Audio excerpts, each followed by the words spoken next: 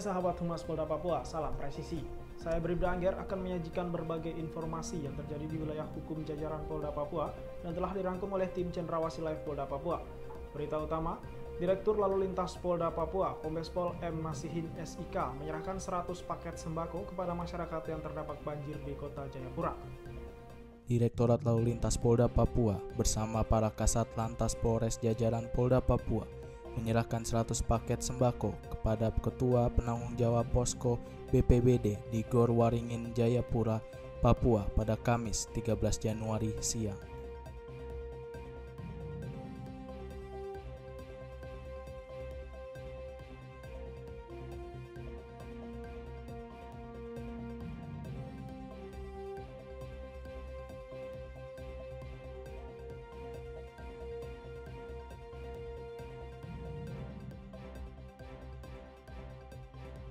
Direktur Lalu Lintas Polda Papua, Kombes Pol Muhammad Nasihin SIK mengatakan, kita ikut berempati ya mengurangkan beban mereka secara psikologis.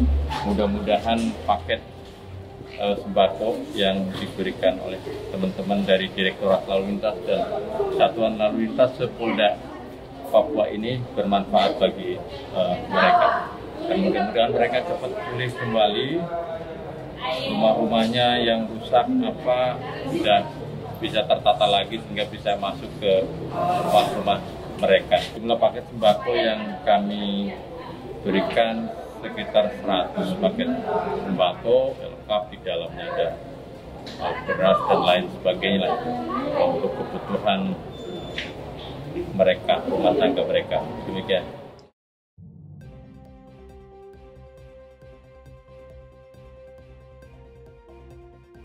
Uh, baik, uh, terima kasih. Yang pertama kami sampaikan kepada di Dirjen Lantas Polda Papua yang pada kesempatan ini sudah memberikan bantuan berupa uh, paket sembako, 100 paket sembako uh, yang yang diberikan untuk uh, para korban bencana banjir di kota Jayapura. Tentunya kami pemerintah daerah kota Jayapura dalam hal ini diwakili oleh Badan Penanggulangan Bencana Daerah Kota Jayapura. Saya selaku Kepala Bidang Kedaruratan dan Logistik Badan Penanggulangan Bencana Daerah eh, menyampaikan terima kasih yang sebesar-besarnya. Semoga eh, keluarga besar ya Dirjen Polda Papua dalam melaksanakan tugas lancar-lancar dan tentunya bantuan yang diserahkan ke posko ini akan kami salurkan sesuai dengan protap, sesuai dengan prosedur yang telah ditetapkan.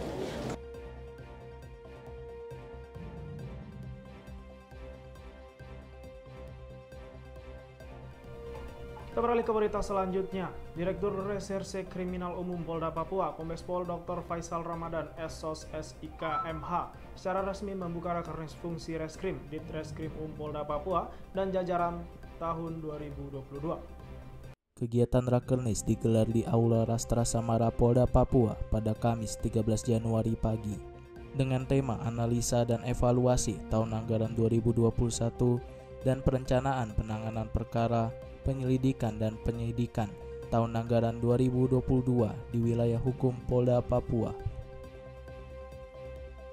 Direktur Reserse Kriminal Umum Polda Papua, Kombes Pol Dr. Faisal Ramadhani, SOS SIK MH, dalam sambutannya mengatakan, Rakernis ini menjadi momen yang sangat penting sebagai wadah pemersatu, baik cara pandang, cara berpikir, dan mengaplikasikan tugas fungsi yang kita emban sebagai para penegak hukum.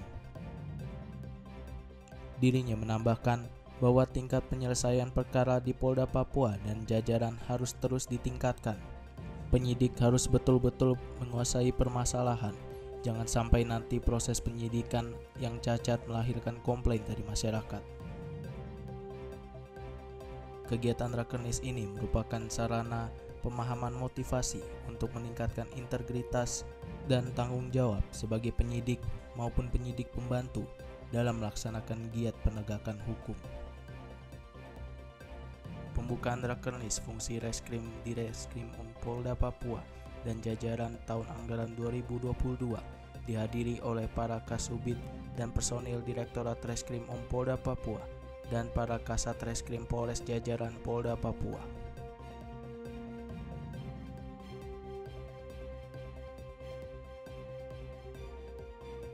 Berita selanjutnya, Kapolres Nabire AKBP Ketut Suwarnaya SHSIK menghadiri ibadah syukur dan lepas sambut tahun 2021 ke tahun 2022 keluarga besar Polres Nabire. Kegiatan tersebut dipimpin oleh Kapolres Nabire AKBP Iketut Suwarnaya SHSIK dan dihadiri oleh seluruh keluarga besar Polres Nabire sebagai bentuk permohonan serta pengucapan syukur atas apa yang telah dilewati di tahun sebelumnya dan permohonan di tahun yang baru agar lebih baik dari kalender Kamtipmas yang telah dilalui oleh keluarga Polres Nabire tentunya bukanlah hal mudah mulai dari pilkada maupun kalender Kamtipmas yang lain. Namun karena kemurahan kasih Tuhan semua itu bisa kita lewati secara bersama-sama dengan baik. Oleh karena itulah ibadah syukuran ini kita laksanakan. Kegiatan ini juga sebagai penyambung tali silaturahmi antara kita, keluarga besar Polres Nabire, yang belum tentu bisa bertemu setiap harinya, sesuai dengan ajaran agama masing-masing. Syukur, syukuran kita penggang dulu kata-kata ini. Syukuran lepas 2021. Berarti kita mengucap syukur Tuhan Allah Tuhan Yesus Sang Yang Widiwasa kami diberikan kemudahan kelancaran melewati 2021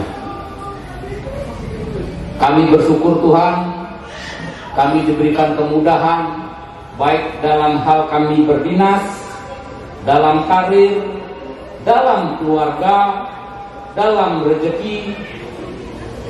Kita diberikan kemudahan sehingga kita bisa melewati 2021 dan kita bisa hadir di sini untuk 2022. Demikian sahabat Humas Polda Papua, informasi tadi sekaligus mengakhiri live streaming Cendrawasi Live Polda Papua. Tetap waspada dan salam presisi.